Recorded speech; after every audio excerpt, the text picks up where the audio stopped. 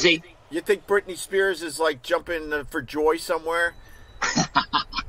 Maybe she's going to do a, cele- a celebratory knife dance. Oh, a celebratory knife dance. That would rule.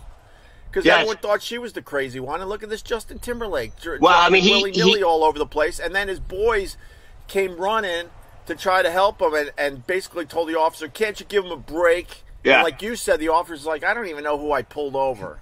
Yeah. That, he, he he's- he's almost like an old, washed up singer now. Uh, well, I think you, I think you might be right. I think you might be right. Honestly, I didn't even know we had a new album.